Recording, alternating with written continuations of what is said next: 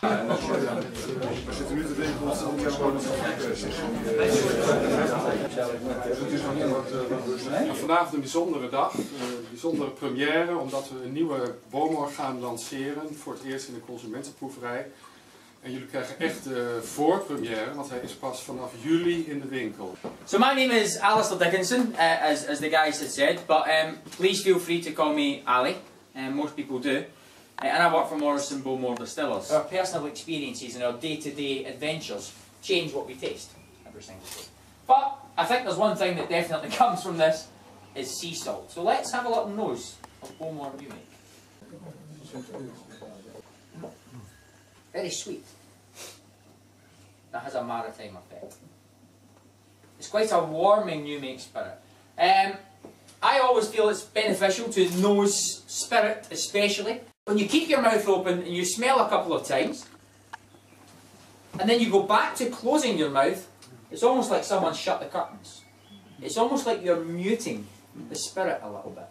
Normally, I, I, I like to go around the room and talk to everyone, but I see we have some safety devices here this evening.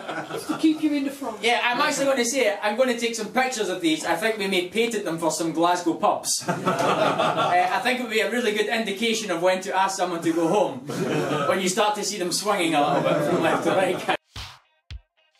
So first fill and second fill bourbon cask. It is a very lovely, creamy, still sea salty, sweet, lemons, a little bit of lime in there as well. It's, it's got a lovely freshness to it. So let's pick up the whiskey, guys. Let's go for the, the Bowmore small batch. Straight away, I get that citrus on the nose. Really is very citrusy on the nose. I know citrus. There's there's many many types of citrus. So let's let's widen it down a little bit. It's definitely a lemony citrus for me. Um, again, let's use as a reference point and go back to the new make. Go back and forward.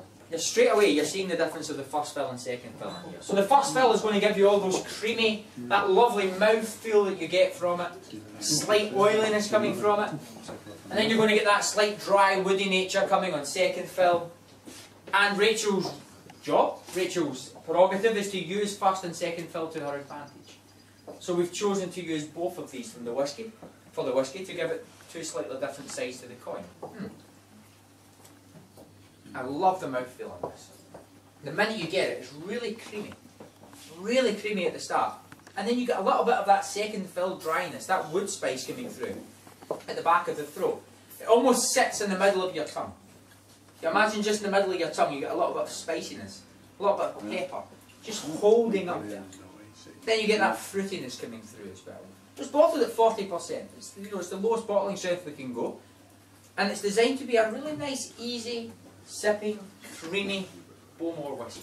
But for me, Bowmore small batch will be a whiskey that a day like today, it's cracking, it's sunny, mm-hmm. it, it's a very nice day, Get yourself out in the backyard, pull up a chair, it really is fantastic. Bowmore small batch and oysters, because you get that salty sweetness coming through, and then you get the oyster. And I, I, I'm not a big oyster fan, so I have to, I, I douse it quite a lot in whiskey. then